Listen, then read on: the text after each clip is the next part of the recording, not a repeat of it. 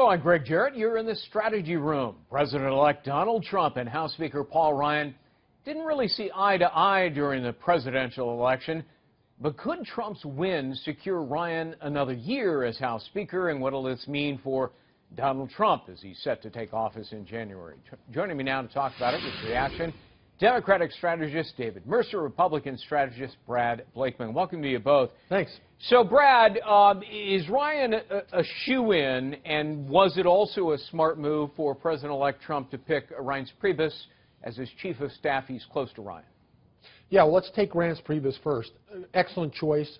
He's a Washington uh, insider uh, who's going to assist an outsider clean up the town. And you have to know how Washington works. He's a tremendous manager. He uh, did wonders at the RNC in bringing it up to date into the modern era with not only uh, staffing but with equipment and uh, new technologies. Um, so I think Reince was the perfect choice. Now, his buddy, who's the Speaker of the House, Paul Ryan, uh, I think it's up to his caucus whether he remains, but I'll tell you this. I'm hearing very good things about the relationship uh, that Donald Trump is having with the president-elect, and a lot of that has to do with the fact that Reince Priebus is the best friend of the Speaker of the House. And I think he'll become a very good friend of the President because they have such common interests of passing legislation. That's right. So if anything, I think it's going to be a very symbiotic relationship between the West Wing and, uh, and Capitol Hill, something we haven't seen in generations. All right, let's turn now to the guy who has an absolutely perfect record in picking, picking presidents, uh, David Mercer. You're 0 for 4, aren't you, David? That's a perfect record. uh, I am, but uh, as a Democrat, uh, I uh, also have two presidents that that were elected twice, uh, setting history, being the first two since Franklin Delano Roosevelt to do it. So we have wins and we have losses, and we move on, and uh, in hopes that the country right. stays on track. Is this, David, going to be a pretty solid relationship, Ryan Trump, that the Democrats are going to fear? Uh, I don't think Democrats will fear uh, as, as far as really they're not going to unwind uh, uh, President Obama's key policies. Uh, well, we've seen already some adjustments in the rhetoric uh, from Donald Trump himself uh, with regard to Obamacare uh, and absolute repeal. Uh, he is backing away from that. Uh, we see it on issues. Oh, come on, he's going to gut it, except for the two most popular provisions. I mean, who are you kidding, David?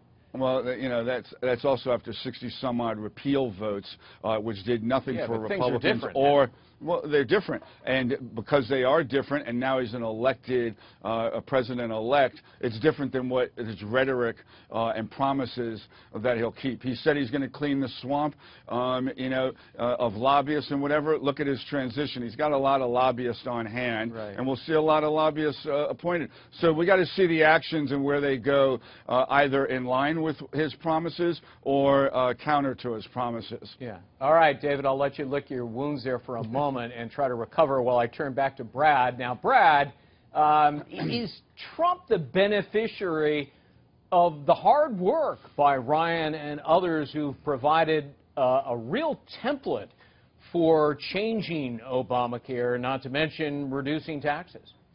No doubt. Uh, look, Obamacare reminds me of the Aesop fable of the tortoise and the hare. Republicans were the tortoise. They were constantly you know, trying to put bills before to repeal and mocked by Democrats. They'll never do it. And guess what? Who won the race?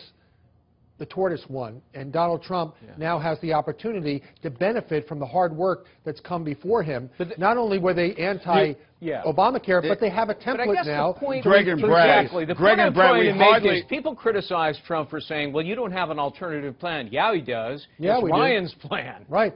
That's yeah, correct. And what, what, what is Ryan's plan? It was hardly discussed during the campaign uh, that the Republicans had an alternative. You know why? Because the Republicans don't no, nobody have an was, alternative. Nobody was they listening. Not, we had. You guys can bothered, argue amongst yourselves. No, I'll no. let if you they have bothered that. to go show back. Show me the plan. And, Next time we're here on Tuesday. You know what? Show right, me you the got plan. a smartphone. Okay. Go online and, and Google Ryan's plan to replace Obamacare, and you know what? You're not going to have enough time during Yeah, this and it was a great part of a Trump's bill. platform. It was a great part of Trump's platform in winning uh, the election.